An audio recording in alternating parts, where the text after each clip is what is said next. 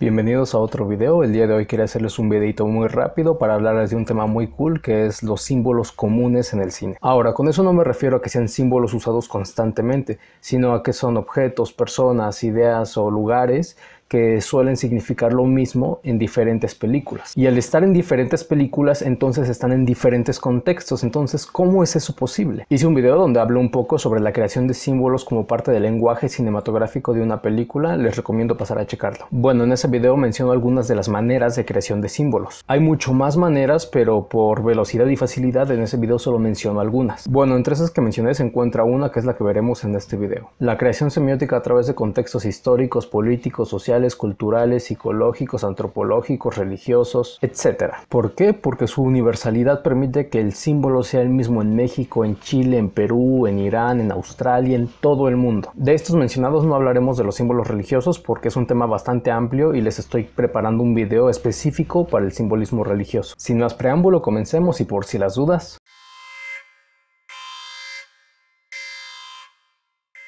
Creo que está de más decirlo, pero por si las dudas, símbolos intradiegéticos, símbolos relacionados a obras literarias, obras cinematográficas, obras pictóricas, obras arquitectónicas o cualesquiera disciplinas artísticas, símbolos creados a partir del plano técnico, del bagaje emocional, entre otro tipo de símbolos, no los estaremos checando en este video. Aunque de hecho sería muy cool hacer un video sobre estas ramificaciones de la creación semiótica en el lenguaje cinematográfico. Bueno, el primer símbolo que mencionaré es uno que ya mencioné en el microanálisis de Tangerine de Sean Baker, que es el taxista. Ahora, siempre que veamos un taxista en una película, en una buena película, va a servir como símbolo de información. A su vez, va a servir como símbolo de dispersión de la información. Se recurre normalmente a este tipo de elemento por la naturaleza de su trabajo, que es manejar por toda una zona geográfica llevando una infinidad de personas. Se permite de la misma manera por la parte semiótica que este personaje lleve y traiga información por toda una zona geográfica. El mejor ejemplo de esto es justamente esa película que dijimos, Tangerine de Sean Baker. Otra película que se me viene a la mente es Taxi Driver de Martin Scorsese, donde el personaje de Travis al volverse taxista conoce una parte oscura de la sociedad, a todas esas problemáticas que a la luz del día no se ven. En el caso de Taxi Driver esto también se apoya del símbolo noche, ya que el protagonista solo trabaja de taxista durante la noche, pero dijimos que ese tipo de símbolos no los íbamos a tocar en este video, así que regresemos al taxi. Bueno, todo esto pasa en el momento en el que Travis se vuelve taxista, ¿se dan cuenta? Es la recolección de información en esta zona geográfica que son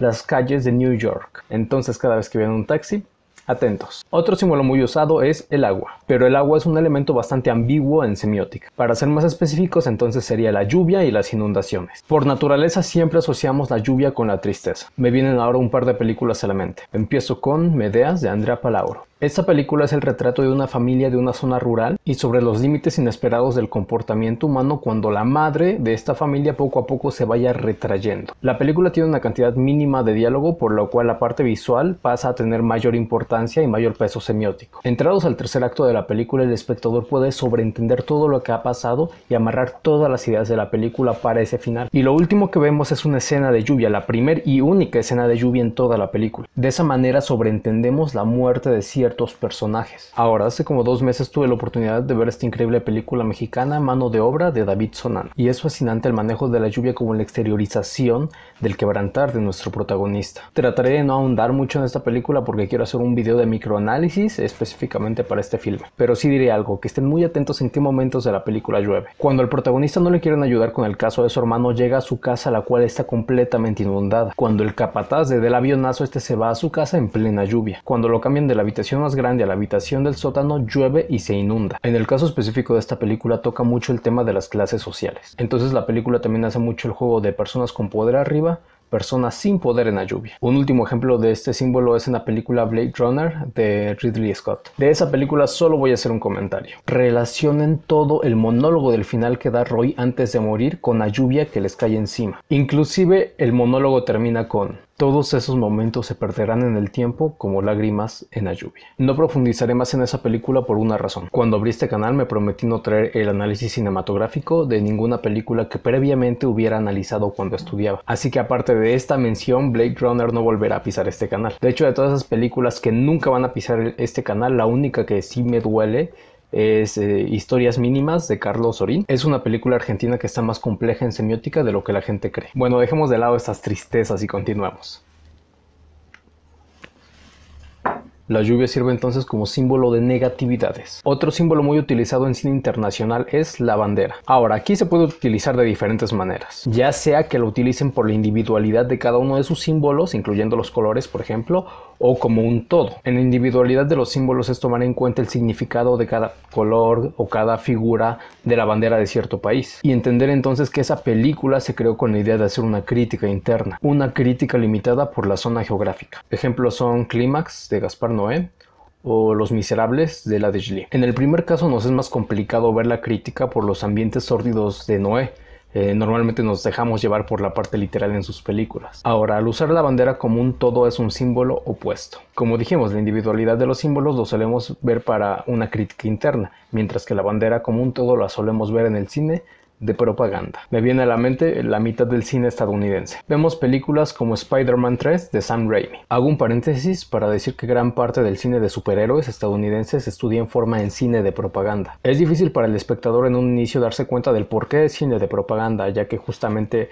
las explosiones, las peleas, la acción mantienen al espectador entretenido. Y es difícil porque no solemos conectar ideas en este tipo de películas. O si lo hacemos nos parece improbable que la idea sea parte de algo más grande. De hecho, recuerdo haber visto una escena de estas películas, no sé si era de Marvel, de de, superhéroes estadounidenses aquí en YouTube y leí el comentario de un chico que justamente había escrito que esa escena se podría interpretar semióticamente eh, en el cine de propaganda, como cine de propaganda. Y ahí acababa su comentario, o sea, el tipo no, no escribió el por qué. Entonces la lluvia de respuestas mentándole la madre está bastante cabrón. Y le escribían cosas bien feas como pinche pendejo, no porque veas escenas así quiera significar necesariamente algo. O cosas como no mames, ves ideas donde el único propósito era entretener al espectador. Y en general cosas muy feas hacia su persona, le comentaban. Y eso es porque a veces no entendemos cómo un pequeño símbolo puede ser parte de una idea más grande. Pero una vez analizando una película de esas y dándote cuenta de cómo funciona el cine de propaganda, se vuelve fácil verlo en todos lados, en todas las películas, al menos en todas las películas de ese tipo. Básicamente todas las películas de superhéroes estadounidenses son cine de propaganda. Pero del cine de propaganda ya hablaré en algún otro video porque de verdad que es un tema muy muy muy amplio y muy complejo. De hecho recomiendo totalmente que tomen algún taller o diploma de cine de propaganda, porque es muy curioso y un tanto espeluznante entender cómo una idea aparentemente insignificante y simple transgrede culturalmente y sociopolíticamente a un país entero en un abrir y cerrar de ojos. Como un fragmento de 5 segundos de alguna película puede cambiar la historia de un país completo. El cine de propaganda está muy cabrón. Totalmente si pueden tomar algún taller o diplomado de cine de propaganda desde sus inicios, háganlo, vale la pena y hasta van a salir con cierto miedo de el taller o diplomado. Bueno, retomando el símbolo de la bandera como un todo, decíamos que Spider-Man 3. Hay una parte donde New York está sin esperanzas y esperan la llegada, la aparición del hombre araña para salvarlos. Y ya cuando todos están como que este vato pues ya no apareció, de repente entra el hombre araña y en escena todos le empiezan a aplaudir mientras él se para frente a la bandera estadounidense ahí, que ponen la bandera estadounidense del tamaño de la pantalla completa. Otro ejemplo es La vida es bella de Roberto Benini, donde entrando al tercer acto vemos entrar a un tanque con una bandera estadounidense estadounidense eh, llegando a escena para salvar al niño. Propaganda, lo notan. Así es como la bandera por la individualidad de sus símbolos es crítica interna, mientras que siendo un todo es cine de propaganda. Otro símbolo muy común en las películas, que yo creo que ya es el último que menciono en este video para no hacerlo muy largo, será las escaleras. El ser humano ya trae como por defecto esta parte simbólica que es arriba, abajo, derecha, izquierda para diferenciar el bien del mal, como dos polos opuestos. Estos diferenciadores se pueden ver mucho más en las películas que son alegorías religiosas o donde se expone una idea contra otra ya sea que el cineasta tome o no postura entre estas dos. Hace dos semanas justamente vimos Las Oscuras Primaveras de Ernesto Contreras, donde descender las escaleras era llegar al cuarto de máquinas donde nuestros dos personajes tenían sus encuentros instintivos mientras que subir las escaleras era regresar a sus familias, donde el hijo de Pina sube todas las escaleras de su edificio solo para dejar caer el auto que tenía desde la azotea. ¿Se dan cuenta? Arriba, abajo, derecha, izquierda. Nuevamente me mano de obra de David Sonana. En el microcosmos, las personas que viven arriba de las escaleras son las personas con mayor poder, mientras que bajar las escaleras al sótano significa la ausencia de poder. Por los opuestos. Cada vez que vean escaleras en una película, cuestionense el porqué de estas. Bueno, hasta aquí termino este video. Había anotado 8 símbolos para hablar dentro de esta categoría de la creación semiótica a través de contextos sociales, culturales, políticos, religiosos, psicológicos, etcétera, etcétera. Hay una infinidad de símbolos dentro de esta categoría, pero en este video, aunque se haya podido pudimos ver de manera un tanto superficial cuatro de estos símbolos. Si te gustó este video me ayudarías mucho suscribiéndote para hacer crecer esta hermosa comunidad. No olvides dejar un like y compartirlo. Si gustan ver otro video como este donde hablemos un poco más a fondo de algunos otros símbolos, háganmelo saber aquí abajo en la caja de comentarios. Los invito a nunca quedarnos con una parte literal de las películas porque una película analizada se disfruta mil veces más. Por mi parte esto sería todo. Bye.